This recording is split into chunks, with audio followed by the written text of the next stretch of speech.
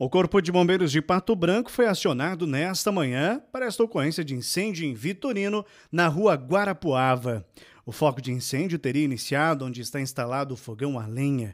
Graças à ação rápida da Defesa Civil Municipal e posterior chegada dos bombeiros, a casa pode ser salva. A partir do momento que nossa equipe chegou, já existia uma equipe da prefeitura prestando um apoio de combate a incêndio. Então, nós podemos constatar que o fogo ele se originou próximo a um fogão a lenha e por ser uma residência de madeira, acabou se propagando por praticamente toda a residência. Muitos estragos internos da residência? Os danos constatados pela nossa equipe são de pequena monta, então principalmente na região do forro, também é de madeira, e em algumas cortinas, mas nenhum dano ali grave e nem considerável que venha a ser prejudicial para essa família.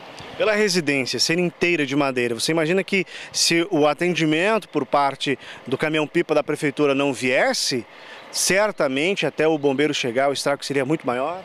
Sim, esse é um fator preocupante para nós, né? Então tivemos sorte de contar com o apoio do pessoal da prefeitura. É, nós temos um veículo de comunicação entre a imprensa né, e também que participam alguns outra, algumas outras instituições, né, dentre elas algumas prefeituras da região. E graças a essa, esse fator de comunicação, eles tomaram ciência dessa ocorrência e conseguiram prestar o apoio mais breve possível. A gente entra num período com temperaturas mais baixas, a população tradicionalmente utiliza dessas ferramentas, como o fogão a lenha. Precaução, o cuidado, a orientação do bombeiro nesse momento.